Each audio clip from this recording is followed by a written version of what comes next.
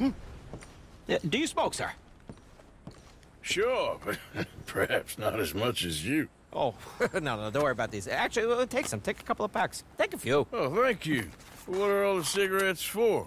Are you heading on a long journey or something? No, no, no, no, nothing like that at all. I'm just interested in the cards. okay. The cigarette cards. Oh, you got any? Yeah? Well, get them out. Let me take a look. Come on, come on. A little picture card? Yeah, I'll pay you a good price. Okay. Here. Ah, nothing I haven't got. The value is in completing the set. Sometimes I'll smoke up to 200 cigarettes in one day, just so I can keep opening the packs. I wish I could explain to you the pleasure and the pain I get out of collecting these babies.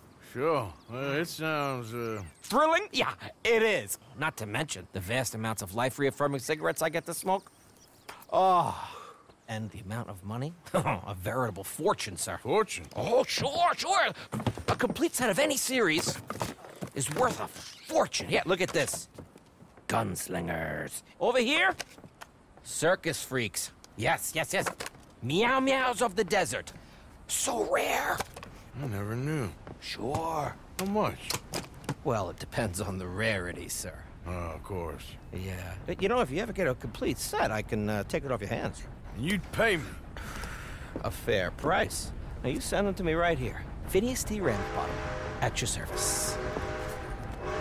I gotta run. This is my train. Look me up, okay? Think about this deal. Only a complete set. That's where the value lies.